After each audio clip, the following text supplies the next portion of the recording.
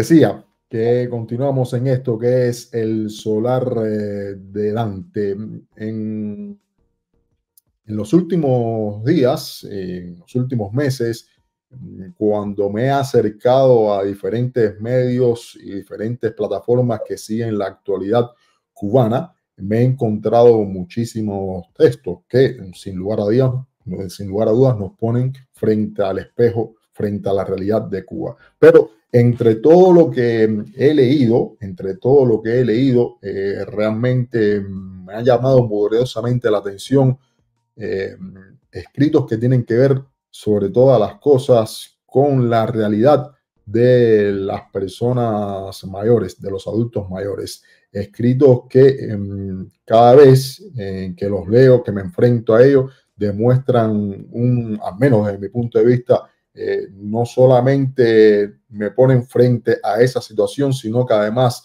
muestran un desgarro, digo yo, desde mi punto de vista, de la persona que lo escribe.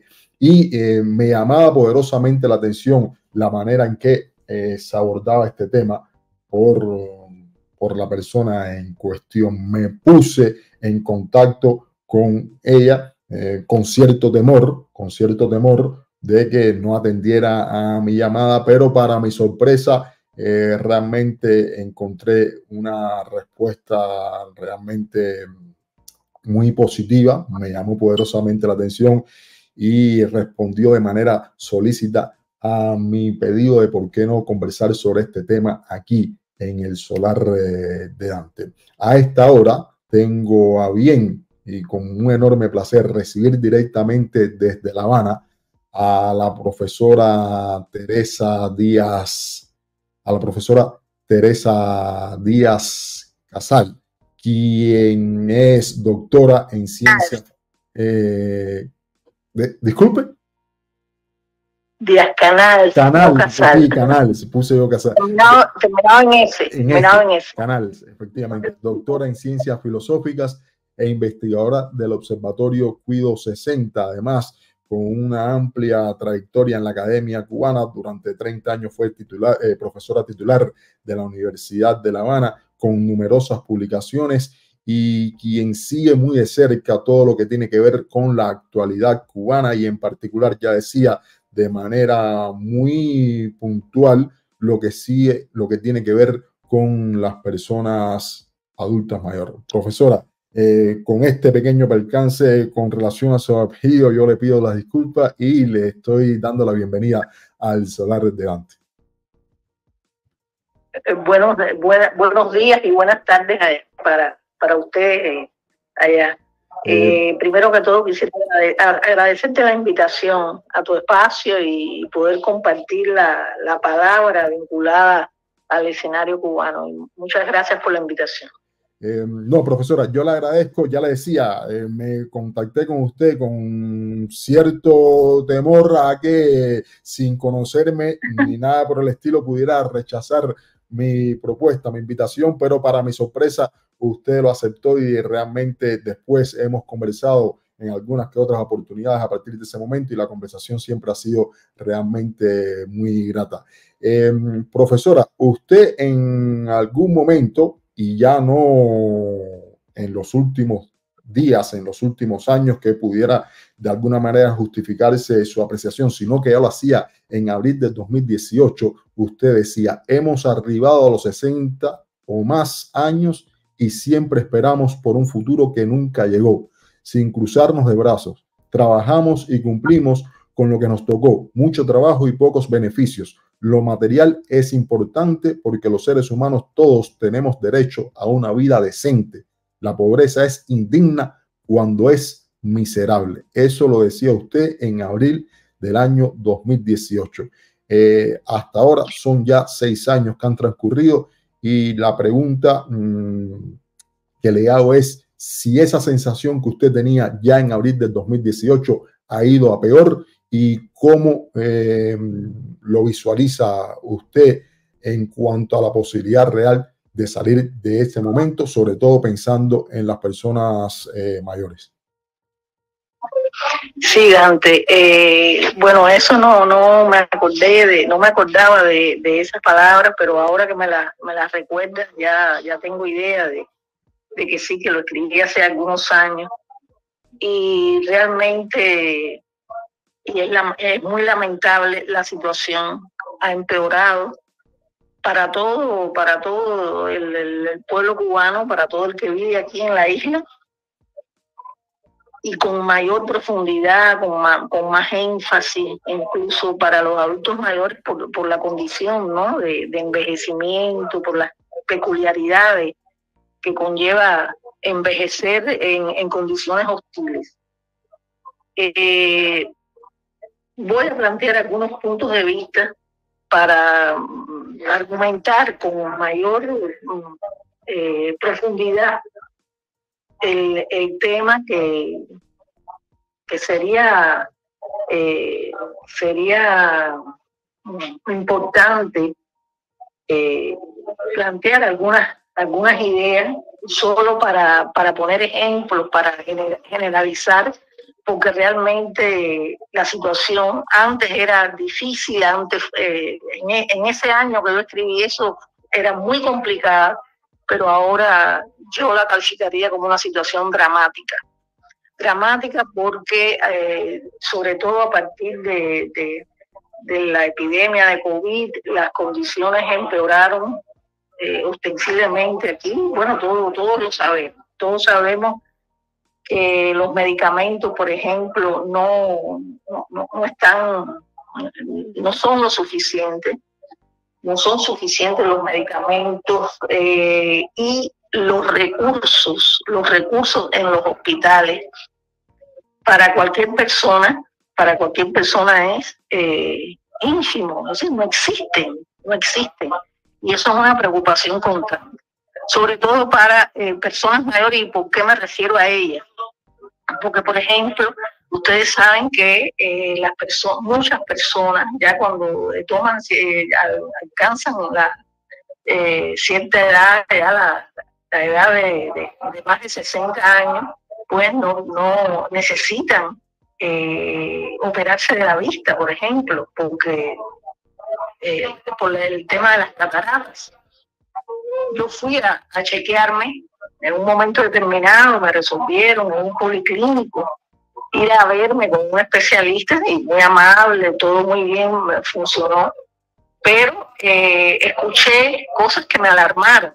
Eh, yo en este caso no, no, me dijo que no, que todavía no tenía catarata y me alegré muchísimo, pero a otras personas le dijeron, mire, tiene que esperar, tiene que esperar para operarse eh, con estas goticas, unas goticas, pero no podían operarla porque sencillamente había una cola, y esto lo pudo averiguar con la misma especialista, de cientos y cientos de personas esperando para eh, operarse. Lo mismo pasa eh, para otras, otros problemas. Las personas que padecen osteoporosis, y en esto, con esto me, me incluyo yo, eh, miren, la, preocupación es, grande aquí en el país porque no existen las condiciones para operar a las personas de una cadera partida, de, una, de, un hueso partido. Y eso es extremadamente eh, preocupante. Además, y voy a poner solo un ejemplo de un muchacho que me contó cómo su, su suegro eh, tuvo un problema en un riñón, tenía problemas en los riñones, fue al médico, llegó hasta el oncológico, en el oncológico le dijeron que tenía un tumor en un riñón y que tenía que operarse. Bien, le dijeron eso y el señor, pero que no, no existían en esos momentos condiciones para el, hospital, el oncológico, operarlo y lo remitieron al hospital naval llegan al hospital naval con el enfermo y le dijeron que tenía que esperar, es decir, que hacer una cola también, porque había muchas personas por delante de él. Esperó pacientemente cuando llegó el día, es decir, unos cuantos meses, muchos meses tuvo que esperar para que lo, lo atendieran, lo operaran, y cuando llegó el día de la operación, bueno, resulta que ya estaba ya tenía metástasis, no se pudo hacer nada, el, el señor murió, Entonces, estamos ante una situación eh, eh, totalmente dramática, dramática. Eh, las pensiones también, continúa la, la, inflación y hay miles y miles de, personas que no están protegidas porque la inflación es, es, galopante, la inflación es muy grande y las pensiones una gran cantidad, un por ciento significativo. Eh, hasta hace poco lo que leí fue que el 70% de, de los jubilados tenían una pensión, la pensión mínima. Imagínense ustedes.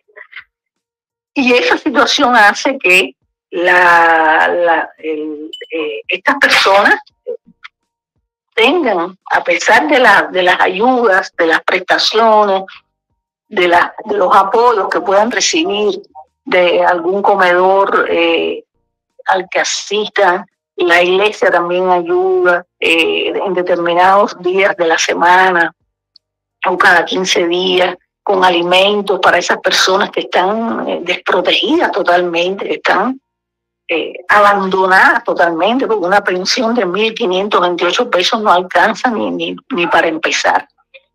Eh, personas que han trabajado de 40 años, más de 30 años, 40 años, y reciben esa, eh, esa, y cuando yo me referí en el año 18, me refería a eso, me referí precisamente a que trabajaste toda, toda la vida para nada, absolutamente para no resolver ningún problema. La solución ha sido, bueno, que las familias se ocupen, pero esa no debe ser la solución es una solución injusta, es una solución totalmente eh, humillante para las personas que tenemos eh, cierta edad, porque si trabajamos fue para eh, en un momento determinado, cuando ya llegara la, la, la, hora del, del, retiro, la hora de la jubilación, tengamos, es que es una forma de respeto a los seres humanos que hemos aportado a la sociedad que de una u otra manera eh, eh, hicimos cosas útiles eh, y, resulta que esto, esto ahora es una nada, es nada, absolutamente nada. Profesora, quiero, quiero, hacerle una pregunta, si usted me lo permite. En esta forma, en esta forma que tiene el gobierno cubano de abordar los problemas y a cada una de las situaciones eh, utilizar para ellos términos que en definitiva no describen la realidad. Ahora a las personas que eh, están en la situación que usted describe le llaman población vulnerable. La pregunta que le hago es, ¿vulnerabilidad o realmente desatención eh, lo que están, lo que viven estas personas a día de hoy? Mira, hay muchas formas también, hay algunas, algunas variantes, algunas diferencias con esto. No es lo mismo, por ejemplo, una persona mayor que tenga una familia eh, con eh, buenas, eh, aceptables condiciones económicas, que se pueda, que, que esté incorporada a esa familia y que pueda ser auxiliada, apoyada. y entonces no es la misma situación que tiene una persona que no tiene familia o que sencillamente la familia no lo apoya por, por determinadas situaciones, determinadas condiciones, porque todas las familias no son iguales y no pueden pretender dejarle el problema solo a las familias. No puede ser. Igual que no pueden pretender que las personas que se ocupan de pacientes, de, estas personas vulnerables que pueden ser discapacitados, que pueden ser enfermos, eh, adultos mayores encamados, no puede ser que sean solo ellos los que se ocupen de, este, de este tema, de esta situación, porque eh, es una injusticia total y absoluta. Si no se le eh, no disponen, por ejemplo, de, de, insumos, de, bienes materiales como eh, pañales, como mm, sábanas desechables, pomadas antiescaras, por ejemplo, que no existe, eso solamente en algunos lugares se pueden resolver.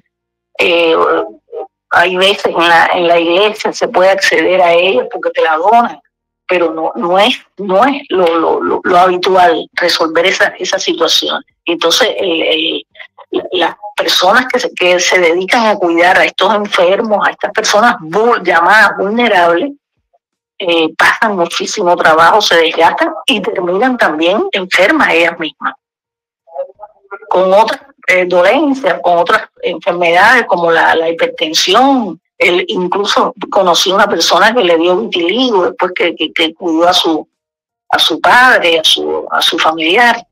Eh, personas que, han, que se han debilitado desde el punto de vista de, su, de la salud para por eh, contribuir enormemente a la, solución de estos problemas, pero sin un apoyo sustancial. Y creo que, como en otros países, como en otros países, eh, el, apoyo tiene que ser integral, de una manera integral.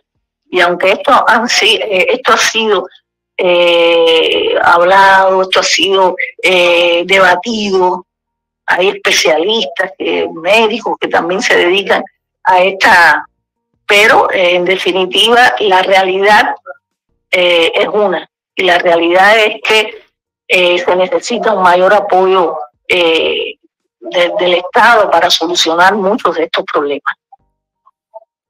A este, a, este punto hemos ido avanzando lentamente, pero de manera mm, imparable y de manera y, y, de manera que realmente termina por abatir a las personas. Pero eh, muchas personas piensan en el debate, en el debate que sostenemos a diario los cubanos, muchas personas piensan que eh, todo ello es producto básicamente, y aquí quiero pasar a otro tema, es básicamente producto de las dificultades que enfrenta Cuba a raíz del establecimiento de sanciones, el embargo, bloqueo, llámelo la persona como quiera llamarlo. Y la pregunta que quiero hacerle, la pregunta que quiero hacerle a usted, profesora, es eh, ¿dónde termina la responsabilidad del gobierno cubano y dónde comenzaría la responsabilidad de esa gente exterior? O si a día de hoy ya podemos derivar todo ello en, en la ineficiencia y el mal hacer del gobierno cubano. Mira, eh, te voy a dar mi punto de vista. Hay otros puntos de vista que yo respeto y que yo eh, escucho también. Eh, cuando pasó, cuando, cuando el, gobierno de, de Obama planteó un acercamiento con el gobierno cubano y hubo determinadas acciones que se hicieron para eh, cambiar la situación de hostilidad y de enfrentamiento que por décadas ha, ha tenido Cuba con el gobierno de los Estados Unidos. Ese, yo recuerdo que en ese momento eh, yo escribí algo sobre eso, eh, sobre esa mm, relación. Y creo que el pueblo cubano la reacción fue primero de silencio, de expectativa, pero también de esperanza, de mucha esperanza, de, de, alegría incluso. Ciertas personas mm, pensaron que, que, que, podía haber un cambio. Y recuerdo cómo en algunas publicaciones incluso eh, la gente se, veía personas que, que sacaban banderas, banderas norteamericanas, algunos la pusieron en, en, los balcones, eh, porque veían que, que, el cambio venía, es decir, como acercamiento, como una forma de decir hasta aquí llegamos con esta hostilidad, con este odio, con este enfrentamiento total y absoluto de hace tantas décadas. Sin embargo, esto no tuvo lugar, no fue así, no fue así. Eh, y eh, continuamos con la misma, la misma política yo diría que absurda, la misma política de justificación de, eh, de echarle toda la culpa y toda la responsabilidad al gobierno de Estados Unidos. Eh, desde mi punto de vista, es una locura y es un absurdo a nivel de país que otro, otro gobierno y otro país tenga eh, la responsabilidad absoluta y total de lo que pasa en el nuestro. Esto es una, el, el, sistema no funciona, el sistema se ha demostrado por, en, en todo, en muchas, en muchas esferas de la, de la vida nacional que no funciona y no funciona por irresponsabilidad, no funciona por, por, por medidas eh, ah, ineficaces, eh, porque, no eh, porque hay una crisis estructural desde el punto de vista económico, porque se ha administrado mal la economía y se ha derrochado hasta la saciedad los recursos con lo, con lo que hemos contado. Recuerdo en los años antes de, la caída del campo socialista, que las papas venían de, de, la Unión Soviética, que muchos productos venían, las ensaladas eh, venían en pomos, eh, en conserva, venían para acá, y que era mucho más fácil recibir eso como una ayuda de los países socialistas, del mundo socialista, eh, que fabricarlos aquí. Era mucho más, y como era mucho más fácil, incluso una vez se lo dijo un economista y se puso, eh, se puso eh, bravo porque dice, claro, si es más fácil, era mejor hacerlo así, pero eso es un disparate desde el punto de vista económico porque nos convertimos en un país totalmente dependiente del, eh, del comercio exterior, absolutamente dependiente. Cuando eso no pasaba antes del año 59, donde Cuba podía producir muchísimos productos, porque somos un país agrícola todavía y, debemos de producir eso en el, en el, país con la mayor eficiencia, pero eh, sencillamente la administración es pésima. La administración es fracaso. Recientemente usted, recientemente usted era categórica y decía, es inútil eludir la claridad de la tragedia cubana. No solo es urgente curar a los enfermos y alimentar al pueblo, es necesario que los que ostentan el poder acaben de oír y de ver que Cuba muere. Apártense ya. Los próximos gobernantes tendrán que aprender a mandar y querer para que Cuba sea, por fin, esa nación que nos falta. ¿Considera usted que el tiempo, el crédito eh, político que podían haber tenido los que hoy eh, dirigen el país se agotó y que no hay otra salida que no sea precisamente el abandono del poder por parte de esta de las personas que ahora lo, lo Creo y estoy absolutamente convencida de que, de que es así, eh, de que es así, de que eh, Cuba necesita para, para, para mantenernos como nación solidaridad e integración. Y eso no existe en el país ya. Eh, no hay respeto, por ejemplo, a, las minorías, no hay respeto a, a las diferencias. Eh, se reproducen día a día eh, hábitos de vanidad, de arrogancia política, de actitudes corruptas, como se ha demostrado, de actitudes antisociales, de violencia. Eh, y creo que es importante aquí recordar a José Martí. José Martí sabía muy bien que Cuba quería ser libre, pero también quería ser decente. Y esa, ese anhelo martiano se mantiene hasta hoy, eh, en el país. Queremos ser libres, pero también queremos ser decentes. Las personas que todavía, y hay cubanos de aquí, hay cubanos en la diáspora, que anhelan eh, eh, este, misma, esta misma, este mismo deseo, ¿no? Esta misma, que aspiran a que Cuba sea libre, pero que también Cuba pueda en un momento determinado eh, reconstruirse como nación y es mucho más difícil reconstruir que eh, destruir como ha pasado. Se ha destruido la economía y, sobre todo se ha golpeado tremendamente la, la esfera moral del país. Y eso es eh, muy grave, extremadamente grave.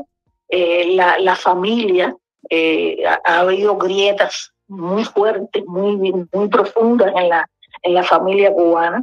Todos sabemos la situación que pasa con las familias, la emigración tremenda, eh, sobre todo de jóvenes para, para otros países. Y entonces eh, eso ha resentido tremendamente el concepto de nación, la idea de nación, la integración nacional. Y entonces no sé a qué aspiran el, gobierno que no se sienta a conversar, a, no se sienta a dialogar con la oposición y es importante eh, tanto por parte de la oposición como por parte de la, de la dirección eh, un entendimiento. Yo en estos momentos recuerdo una, eh, una frase, unos versos incluso, unos versos de,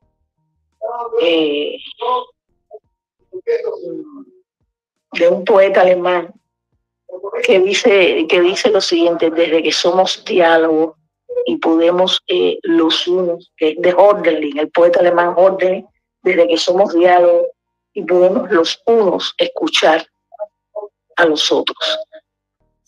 Cuba tiene que hacer diálogo, Cuba tiene que sentarse a conversar, porque eh, esa posición de blanco y negro, de que los malos y buenos, por parte de la, de la, del oficialismo, pero también por parte de, muchos de la, de muchas de la, de la oposición, parte de la oposición que se enfrentan eh, frontalmente, frontalmente entre ellos mismos, eso no, no nos conduciría a, a ningún lugar. Y entonces tenemos que reconstruir la nación de esa manera.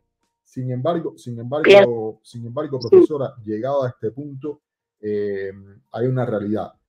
Dos no pueden dialogar, y me tiro del dicho popular, dos no pueden bailar si uno no quiere. Y la realidad hasta el día de hoy es que el gobierno cubano nunca ha tenido la intención real de conversar con los cubanos. Han pretendido siempre conversar con ese eh, enemigo exterior que son los Estados Unidos. Y llegado a este punto, ya hoy gran parte de las personas que adversan al gobierno cubano tampoco creen el diálogo.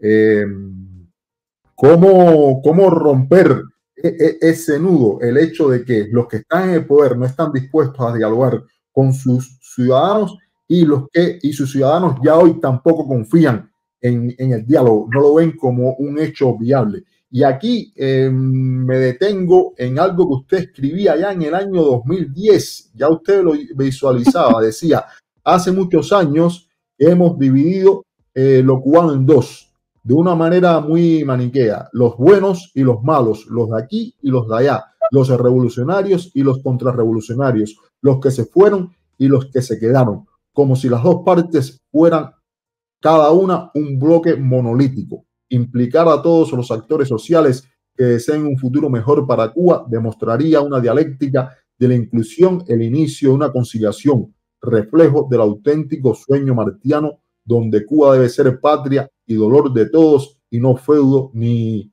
capellanía de nadie. Eso usted lo escribía en un ensayo que después dio lugar a un libro de usted también, El momento del agua, cuestiones de civismo. En el año 2010, ¿cómo hemos llegado hasta aquí, 14 años, de manera tan deteriorada? no es responsabilidad en definitiva de los que están en el poder? Totalmente, totalmente. Te doy la razón absoluta en eso. Es muy difícil porque por mucho que eh, algunos y eh, hay hay otros hay intelectuales eh, intelectuales ahí que, que, son ejemplos para para para Cuba, para, para, para poder hacer un cambio, de, un cambio cívico importante en este país. Ahí está Mauricio de Miranda, ahí está Alina Bárbara, muchos eh, otros que están eh, también, que están en el exterior, muchísima gente que están ayudando a, sobrevivir, que están ayudando a, a, la, a, las precariedades, para, para aliviar un poco las precariedades del país. Y conjuntamente con eso tienen ideas muy importantes, economistas que han, han, planteado la necesidad de, de, de, que esto eh, termine de una manera eh, pacífica, de una manera dialogada, de una manera, pero que a la vez ya las esperanzas son nulas prácticamente porque el empecinamiento y además el, el, amor al poder, el aferramiento al poder es indiscutible y esto se ha demostrado. Pero eh, bueno, el, el futuro nosotros es imposible predecirlo, nadie lo puede predecir.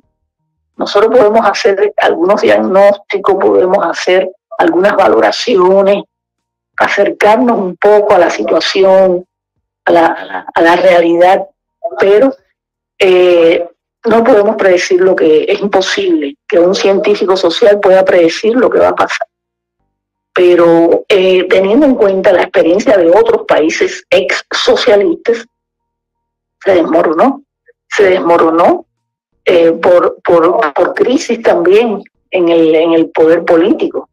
Se desmoronó porque también hubo, bueno, el, ya en julio del 2021 en Cuba, eh, se demostró que eh, el pueblo no puede más, que la sociedad no puede más. Lo que pasa que la represión ha sido fuerte y ahí están los, la, cantidad tremenda de, de, y justamente que lo primero que deberían hacer era ponerlos en libertad. Entonces me parece que es importante darte, eh, no esperar, porque ya no hay, eh, no, no, no, se puede esperar. Es decir, como en, la, en los tiempos del siglo XIX cubano, las en las tertulias de, de Montina, cuyo lema era hacer algo. Y, los intelectuales, eh, la gente de bien, la gente, los activistas sociales, debemos de hacer algo, debemos de, de, no estoy hablando de conspiración, ni de enfrentamiento, ni de guerra civil, no estoy hablando de eso porque mi, mi, vocación es de paz, mi vocación es de diálogo, mi vocación es de, um, de entendimiento, de comprensión, pero habría que ver habría que ver qué va a pasar, porque también, eh, tomando, ya no tenemos, gracias a Dios, el, líder, el líder que, que, se mantenía, la revolución, las revoluciones a nivel mundial, la de China, la de la Unión Soviética, mueren los líderes y después fracasan. Y esto es, un proceso que está teniendo lugar de, esta, de esa misma manera, así mismo vamos a ver hasta dónde podemos sobrevivir a esto. Llegado, llegado a este punto de la conversación, eh, quería eh, acercarme a, algo que le escuché ya a un intelectual cubano como es Julio, Julio Estrada, eh, y también le escuché recientemente a usted, y es la sensación o el criterio de Fernández, Julio Fernández, Julio Fernández Estrada, Julio Fernández Estrada. Eh, ah, verdad, papá, disculpa. que es el, el, hecho de que la nación cubana eh, colapsa. Decía usted exactamente lo siguiente, la isla se encuentra colapsada como nación. Em, en este punto, si ya estamos en ese espacio de que ya no solamente lo concerniente a los geográficos, sino es la nación en su totalidad, ha colapsado, cuál es la esperanza real que existe para eh, todos los cubanos, incluso aquellos que están eh, de los mares. Bueno, eh, eh, eso mismo que te estaba hablando, recién te estaba hablando de esa misma situación, ¿no? Ya el, país colapsó. no, no, hay solución lo que quiero saber también, y disculpe, profesora, ¿por, por, qué, por, qué, por qué, usted puede, y como también lo dice Julio, lo hacía Julio, ¿por qué puede afirmar de que la nación propiamente es la que ha colapsado? Bueno, porque además del, del, del colapso económico, hay, un colapso político en el sentido de que el discurso político, el discurso, es decir, lo político como discurso, como palabra, también eh, ya nadie cree en ese discurso obsoleto, en ese, discurso caduco, en esa visión cansona de que eh, eh, incluso un, un amigo pasó por aquí temprano, tempranito, y conversamos Y entonces me dijo, no puedo creer lo que escuché ayer. Y yo dije, ¿qué escuchaste? Y me habló de que eh, había una eh, iniciativa, de que se había producido una iniciativa donde los dirigentes del país eh, hablaron de volver de nuevo a los trabajos voluntarios para es tan, es, tan, es hasta ridículo. No, de hecho, de hecho, no solamente foto, de hecho, da risa. Da, de hecho, hay una foto ¿Eh? grotesca, hay una foto grotesca de Díaz Canel eh, haciendo alarde de estar presente en un trabajo voluntario, pero realmente es grotesca la, la foto. Exactamente es que, es que no puede ser volver a métodos obsoletos, métodos que no funcionaron en aquellos años. No funcionaron. Esa no es la solución del gran problema. ¿Cómo tú vas a pretender de nuevo repetir las mismas estupideces de hace 40 años, de hace 20 años? No puede ser. No es la solución. Y creo que, eh, que, que, que, esa, esa, esa, porque nadie cree en eso ya. Es decir, los que lo apoyan, bueno, yo eh, creo que hice un articulito hace, uno, hace un tiempito que se llama El Rey está desnudo, ¿no? Que son las la, personas que los rodean que le dicen, sí, sí, cómo no, cómo no, porque ¿qué van a hacer? Tienen que decirle que sí, porque tienen que decirle que el rey eh, eh, está vestido pero, pero realmente ya eso nadie cree en ese discurso, en esas estupideces, en esas eh, cosas caducas, que, obsoletas, que solo a un grupito, a un grupito de personas ya ancianos que están en la misma, con la misma táctica, con la misma estrategia, que no van a, levantar el país nunca. Entonces, apártense se tienen que apartar para que, para que Cuba vuelva a ser eh, la nación que un día fue, para que eh, eh, Cuba vuelva a prosperar en el plano político, en el plano económico, para que se establezcan buenas relaciones con Estados Unidos y con cualquier país del mundo, sin ese enfrentamiento, esa, ese, ese, ese, esa mentalidad militar, esa palabra enfrentamiento que me, que me cae muy mal, porque siempre fue enfrentar al, al enemigo, enfrentar a la naturaleza, hasta los ciclones, había que enfrentarlos como si fueran los grandes enemigos.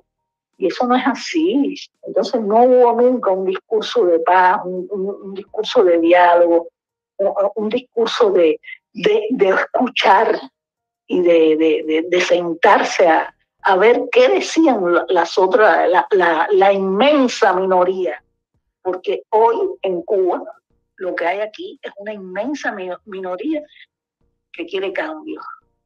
Como decía eh, este poeta español Juan Ramón Jiménez, que le llamó a la minoría inmensa minoría, y tenía toda, absolutamente toda la razón.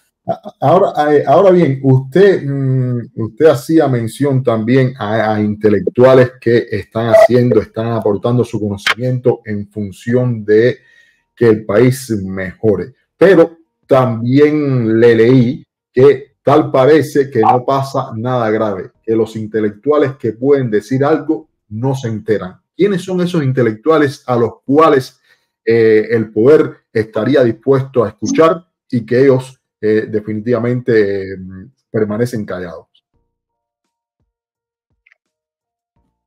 Sí, es una pregunta, es una pregunta compleja. Eh, complejo. Por supuesto, vamos a hablar en términos eh, generales. Sí, sí.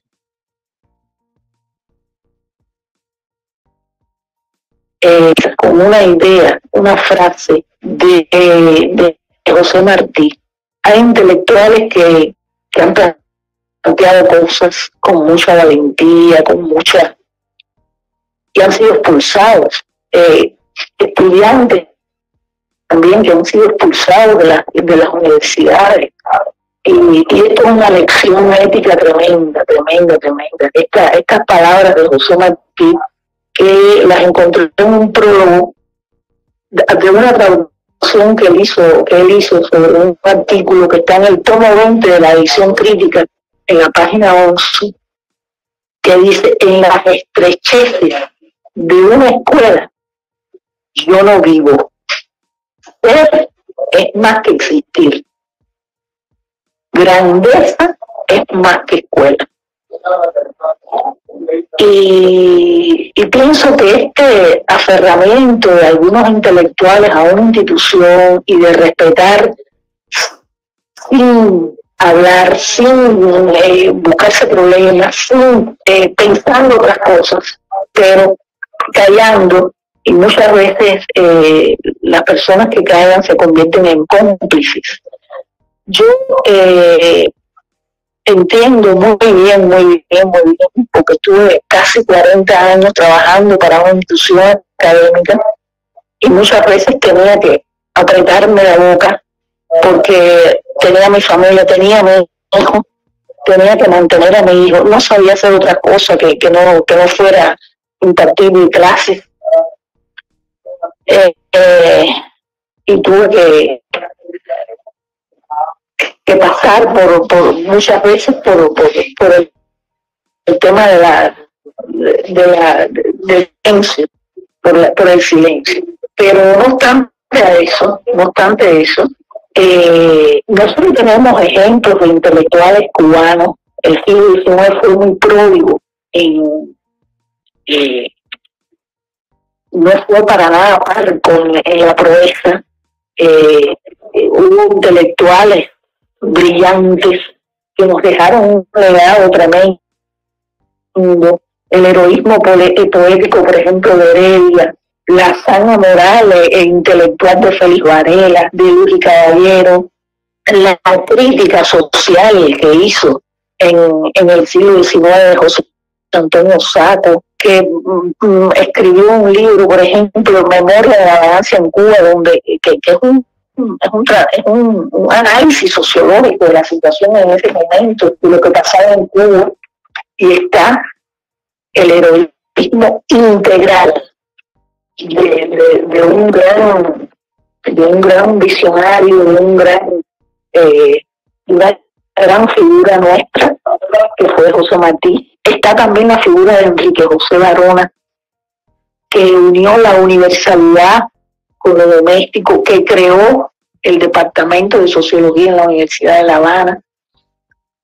Y yo creo que, que la intelectualidad cubana tiene que, que, revitalizar sus puntos de vista con respecto, porque y hay muchos, yo admiro a muchísimos intelectuales, los admiro muchísimo, eh, porque han hecho una obra eh, a pesar de todo, una obra grande, una obra sólida, porque sus puntos de vista son muy respetables a nivel internacional. Eh, pero, pero, repito también con una idea de, de la española, de la pensadora española María Zambrano, que dice, cuando el intelectual se, se, se pone de espaldas a su medio, se produce una pérdida de dignidad y de sustancia y también analizó cómo eh, ese extremo intelectualismo, es decir, la persona que nada más que se dedica a su especialidad y punto de ahí no sabe, eh, viene a ser una especie de traición a la verdadera inteligencia.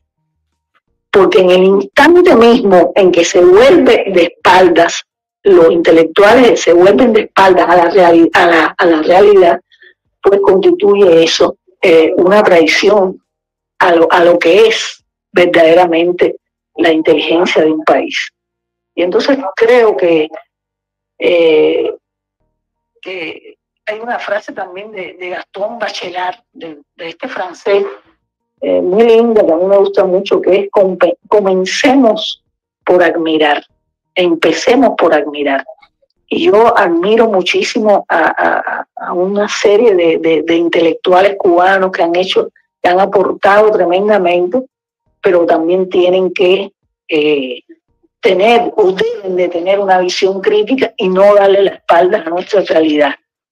Eh, nos preocupamos mucho, mucho, y, está bien que nos preocupemos tremendamente eh, sobre la situación en Palestina, por ejemplo, pero tenemos que preocuparnos por los presos políticos nuestros, tenemos que preocuparnos por la, por la, por la situación de los adultos mayores en el país, por, la, por los indigentes, por los indigentes que no son tratados eh, con, con, respeto, que no son tratados con dignidad. Y creo que eh, por esos niños que tienen enfermedades y que se demoran muchísimo para darles una, una autorización para que abandonen el país, y algunos hasta mueren, han muerto en, eh, cuando llegan allí por, por la pérdida de tiempo. Eh, creo que, que, hay que tomar eh, medidas más, más fuertes, con más vigor, porque creo que no solamente contribuir a la no, no, es, no es importante solo contribuir al mejoramiento de los demás.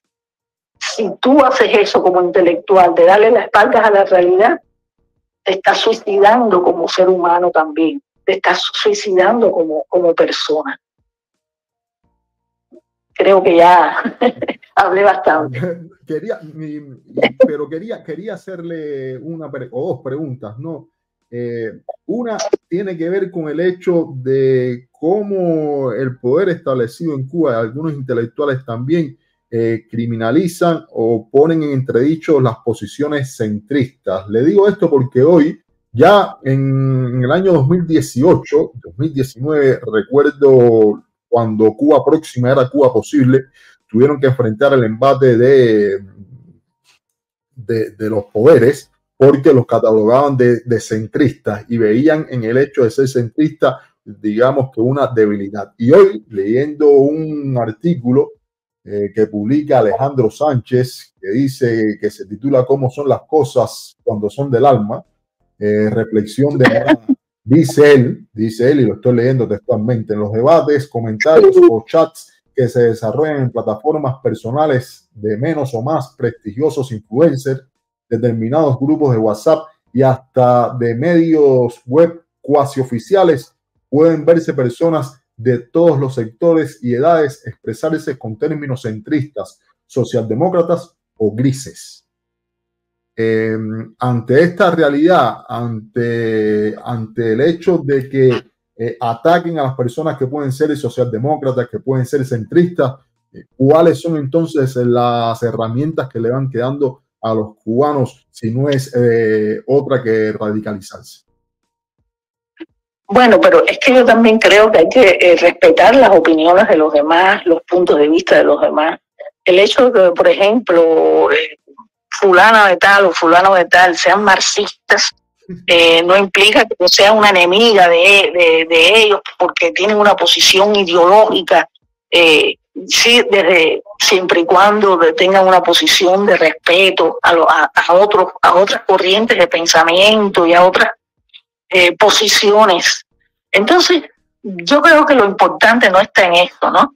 De, de, ese enfrentamiento desde el punto de vista ideológico, desde el punto de vista político, desde el punto eh, em, de vista personal, ¿no?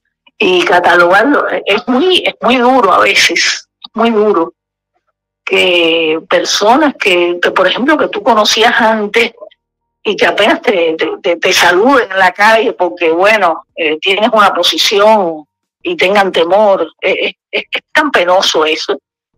Cuando, no sé, eh, en, nuestra historia y a nivel mundial, incluso, eh, está, la, está la anécdota de dos intelectuales nuestros, de dos grandes eh, literatos cubanos, Lezama y Virgilio Piñera, por ejemplo, que un día ahí en, la, en, en el Liceo de La Habana eh, está la anécdota esa de que eh, se empezaron a decir cosas, porque tenían dos estilos totalmente diferentes, dos formas, dos visiones diferentes de hacer arte, de, hacer, de desarrollar la cultura y entonces tenían sus opiniones y se enfrentaron en un momento determinado y terminaron que se iban casi a fajar y eh, a, darse piñazos y estuvieron un tiempo separados y no.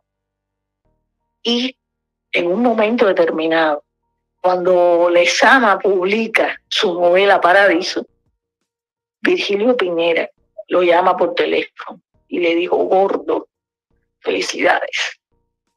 Y es tan, eh, bonito eso, tan precioso que alguien eh, que, en un momento determinado no, no estuvo de acuerdo contigo, te apoye, te, te eh, bueno, creo que hablé sobre eso en, en el último artículo que me publicó Cuba Próxima, creo, el, cuarto de Tula, ¿no? Y con una amiga, ¿no? Que me dio su, muerte. Y, y por qué tenemos que ser enemigos, por qué tenemos que, que criticar hasta la muerte, la, sencillamente respetar las opiniones de los demás. Eh, es importante eso. Y es importante porque esa es parte de nuestra identidad. Esa, esa anécdota de Lezama y Virgilio me parece tan preciosa. Y después le escribió y dijo, Tú, tus libros van a estar en, la, en, la, en una librería. Cuando tus libros y mis libros eh, se, se, en el tiempo y van a permanecer en una librería juntos. Es muy precioso eso, muy precioso, porque el hecho de que tengamos opiniones distintas y posiciones distintas no, para mí no, no quiere decir que tengamos que ser enemigos. Por lo menos tenemos algo en común, que es haber coexistido en el tiempo en el, en, el, en el artículo que usted hace referencia en el cuarto de Tula, si usted me lo permite, leo el fragmento, el, el párrafo que usted le dedica. Dice, eh, habían tenido un enfrentamiento anterior, dice usted que su amiga era de, de buen humor y que pasaron unos cuantos años ese incidente descrito que usted describe anteriormente, en medio de la pandemia, ah. después de mi alejamiento definitivo del lugar donde trabajé por muchos años, me llamó, me contó acerca de la travesía de su hijo y la esposa para llegar a Estados Unidos. También me dio algunas quejas sobre la situación de nuestro país. Sentí que una forma, sentí que fue una forma de decirme, tenías toda la razón. Lo interpreté como una especial manera de pedir perdón. Sí, así mismo fue. Así mismo fue. Y, y creo que eso, eso es muy lindo, ¿no? No siempre, a veces me equivoco yo y tengo que pedir perdón yo, ¿entiendes? Ese no, no es que uno siempre tenga, tenga que tener la razón, ni mucho menos. Pero cuando esas cosas pasan, hay que, hay que saber también perdonar. El perdón es importante para sanar, para, para seguir adelante y para, porque eh, en como decía, bueno, Martí fue un, tremendo impulsor de esta idea de, de eh, es un criminal, decía, quien en Cuba estimula el odio entre los cubanos. Y eso se ha estimulado aquí, desgraciadamente, muchísimo, el odio entre los cubanos, los que se fueron, los que se quedaron, eh, eso se ha estimulado tremendamente. Incluso mi generación, ¿no? Eh, permitían relaciones con, con personas que se iban. Era, era tremendo aquello, fue tremendo. Ya eso da hasta risa. Era, era, tan ridículo que tú rompas con una amistad o rompas con un familiar. Pero eso trajo heridas muy profundas y que, que, que hoy las cicatrices están ahí. Y recuerdo que una, una profesora a quien quiero y admiro muchísimo, muchísimo, eh, me hizo el cuento una vez de que, eh, bueno, nos habían prohibido a mi generación y a la generación anterior, por supuesto, eh, tener relaciones con, con, con familiares que se iban. Y un día la llama su padre y le dice, por favor, habla con tu madre que está muriéndose ella le colgó el teléfono.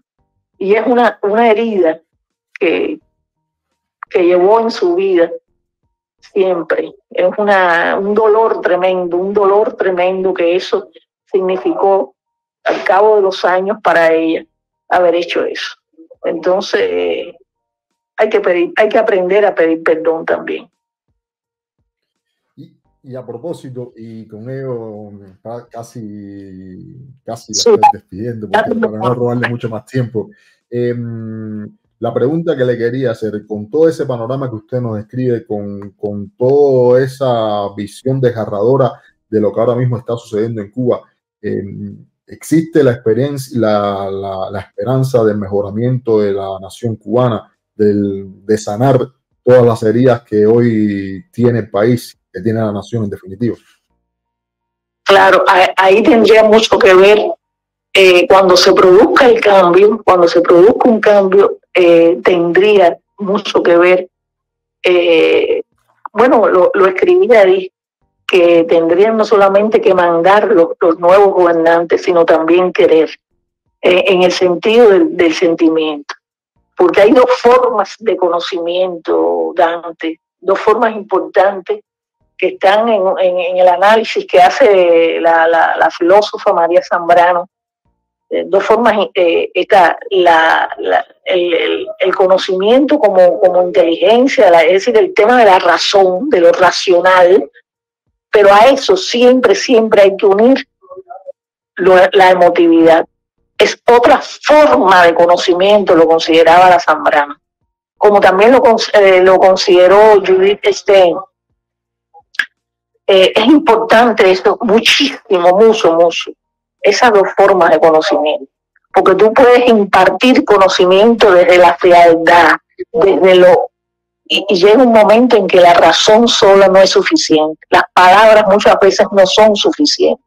También hay que eh, mm, transmitir determinado, eh, determinada emoción, determinada a través de valores, a través, por ejemplo, del ejemplo, a través de, determinadas actitudes, y eso solamente no, la dan las palabras, eh, no lo da el conocimiento estricto, entendido como la razón.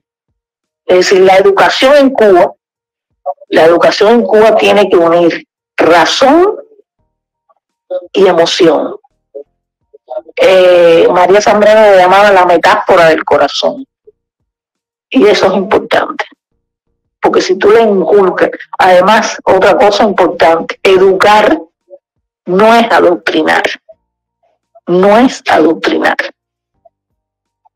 Eso hay que retomarlo de nuevo. Hay que asumirlo de nuevo. Eliminar el adoctrinamiento para eh, enseñar desde la razón y también desde la emoción con el tema del respeto, con el tema de la de la de una estética que también es ética, de un lenguaje que sea respetuoso. Todo eso hay que tenerlo en cuenta. Bueno, creo que, he hablado demasiado, Dante. No, yo, yo, profesora, le agradezco muchísimo que usted haya aceptado conversar con, con nosotros. Digo con nosotros porque hay personas por acá escuchando y, sobre todo le agradezco de que nos haya eh, iluminado, por decirlo de alguna manera, y permítame un poco la, la frivolidad, y que nos haya también eh, trazado o nos haya puesto ante el camino de lo que puede ser la solución del problema cubano, que ya decía usted, pasa sobre todo por el hecho de que nos reencontremos nosotros. Y ya también la estoy invitando para en otra oportunidad eh, tenerla por acá y que nos ilustre con todo su conocimiento y nos mantenga al tanto de cómo está sucediendo la vida en Cuba. Para los que estamos fuera de Cuba, que siempre estamos discutiendo sobre Cuba muchas veces, no tenemos la capacidad de escuchar o detenernos en lo que dicen las personas que están dentro. Y creo que eso realmente es importante. Ya le digo, muchísimas gracias y la invitación para que la oportunidad esté por acá. Muchas gracias a ti, Dante. Un abrazo. Un abrazo a todos los que escucharon. Muchísimas